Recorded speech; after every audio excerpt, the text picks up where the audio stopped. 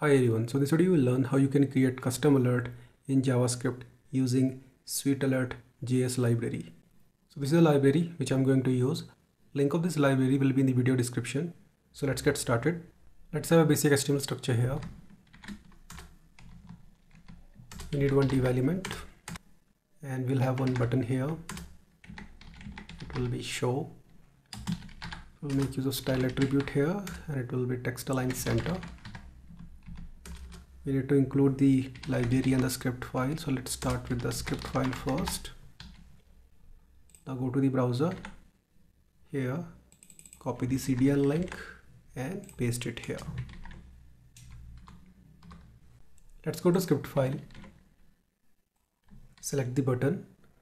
So I'll make it btn show.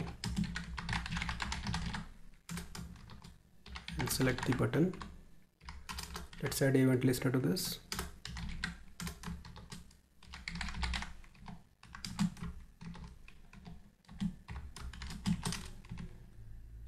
So in javascript if you want to show alert you simply make use of this alert function and pass the message here.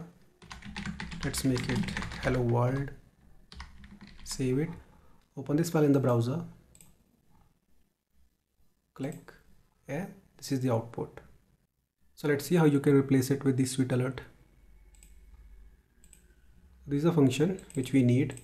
Just copy this and paste it here.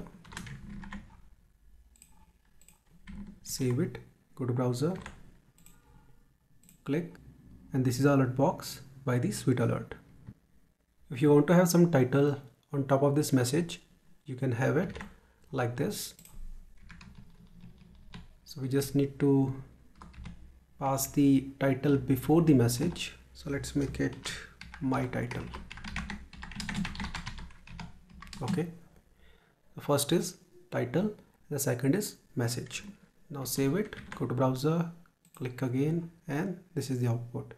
In case if you want to show some icon for example success warning error in this alert box you can do so. But for that you need to pass success error info warning as the third argument. So let's try with the success.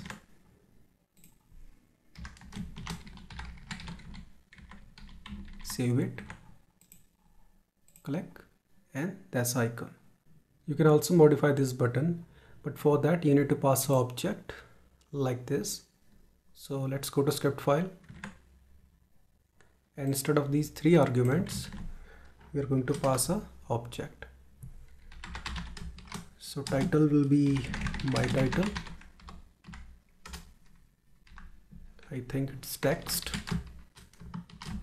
So let's make it hello world. Let me see. So icon will be success.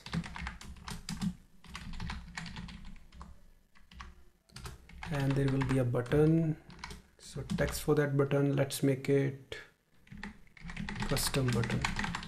Okay? I just save it go to browser click and this is the output. So we have our icon title message and the button with a customized text. If you want to learn more about the SweetAlert JS you can go to the website and read their documentation. I hope you got the point how it actually works. See you next video. Have a nice day